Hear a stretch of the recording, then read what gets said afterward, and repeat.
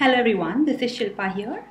Now let's um, look at a case where um, I used this approach because the normal conventional homeopathic medicines used for kids did not really um, have an effect. This was a boy who came to me um, in about 1999 when I was um, just in practice. He was five years old and the, the family had just moved back to India um, the boy was born in the US, and since they have they had been in India for about four to five months, this boy had um, frequent motions and you know with flatus and this sort of a chronic uh, dysentery, which the di- the doctors had diagnosed as, as amoebic dysentery, uh, but it was not responding to any conventional treatment. So the mother was quite frustrated, and um, you know there were lots of um, restrictions on the child, and, and she she did not really, um, give, you know, she didn't give him any sort of um, water unless it was boiled and he was on mineral water. And she tried lots of homeopathics as well, but nothing seemed to really work. The other complaints this child had was um, recurrent ear infections and tonsillitis and nosebleeds um, since he was younger. Now, the mom gave quite a good history actually. She she explained how this child was really um, very intelligent and um, he had all these early milestones. But the teachers had a lot of problem with this child because he just could not sit in one place and concentrate. He was very restless and and hyperactive in a way. And he, he mentioned it was quite boring to be in class and he was easily distracted and nothing could keep him in one place for a long time. Um, he threw things in anger and he was always, you know, up to something and excited. So um, that they were also suspecting ADD in this child. Um, he could not sleep alone in the dark. He had lots of uh, fears of um, darkness and monsters and but he also explained that he had quite a few funny dreams where he used to laugh and you know it was quite exciting he had craving for a lot of foods. So he craved for sweets and candies and chocolates, which all kids do, milk and peanut butter.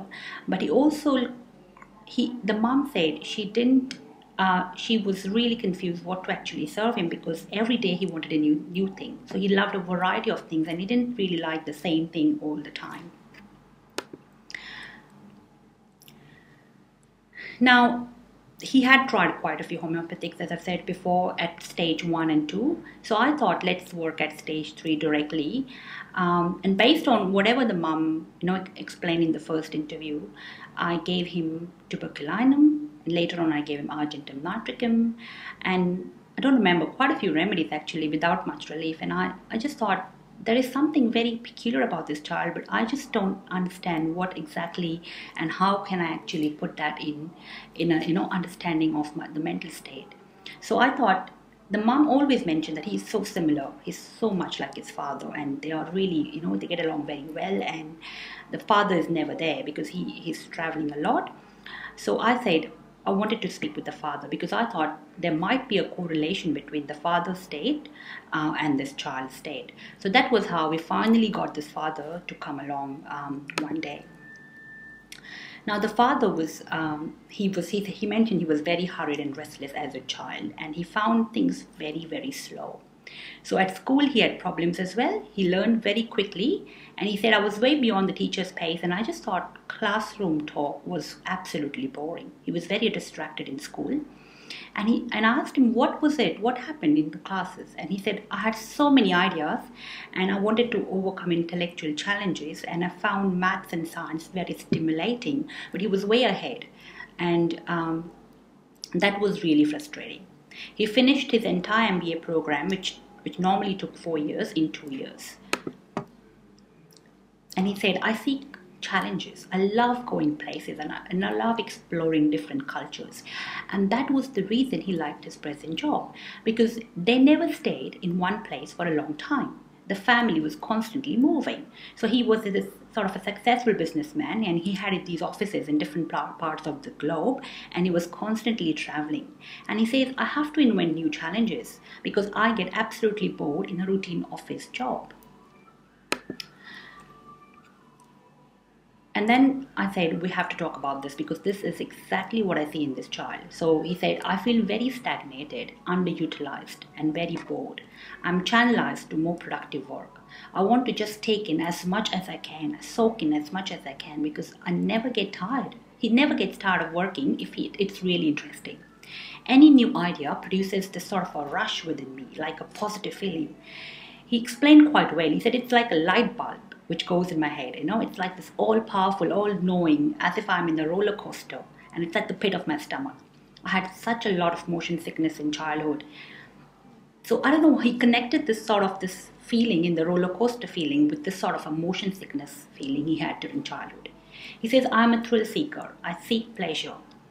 I just think, what are the limits to which somebody can experience pleasure? He mentioned science fiction really fascinates him. You know, this imagination, 2,000 years and beyond in the future, what could happen? Know, what could happen beyond the speed of light? His favorite movie was Matrix. He thought that was absolutely pushing your boundaries, you know, pushing your limits and stimulating your senses.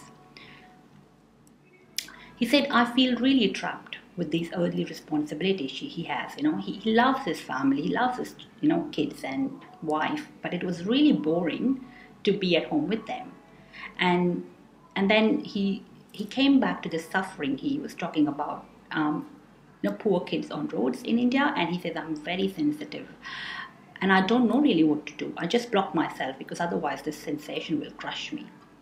He had lots of cravings, and he said, I have this craving for sweets, and this is one craving I've not been able to conquer, which means he's been trying to really suppress the other cravings, and I don't want it to control me.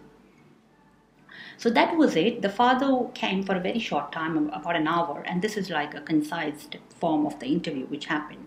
But you can absolutely see the connection between what the child is having and the, what the father is really doing.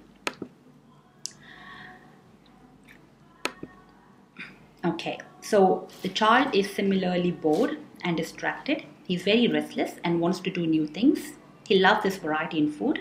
You know, every second day he has to have something new and even in the consulting room he just couldn't remain in one place you know i had a, a box full of toys and he just couldn't he was too bored you know they were really boring and he played with all of them and he wanted something new so that was really hard for him to really keep him inside the consulting room and the mother had to constantly so he went along in the waiting room and the mother had to constantly bring him back.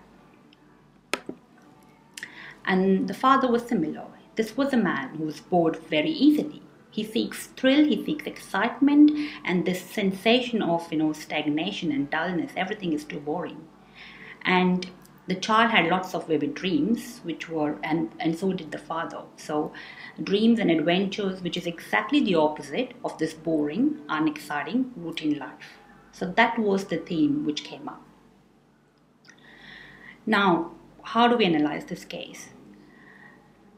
Now, to start with, I thought there were two very um, important themes in this case which my remedy needs to have. And these two things, um, I looked into the repertories and Remedicas, and there were two things which I put in. One was boredom, and one was excitement ameliorates. And he had been given Nux vomica several times, which hadn't really treated effect. But I thought Piper meth was a very important remedy here. Piper meth, which was quite interesting, never heard of it before. Um, I might have read about it somewhere. That was something at the back of my mind, but never really um, knew this remedy in detail. So I thought, let's have a look. And I read the other rubrics of, of this remedy, Piper methysticum.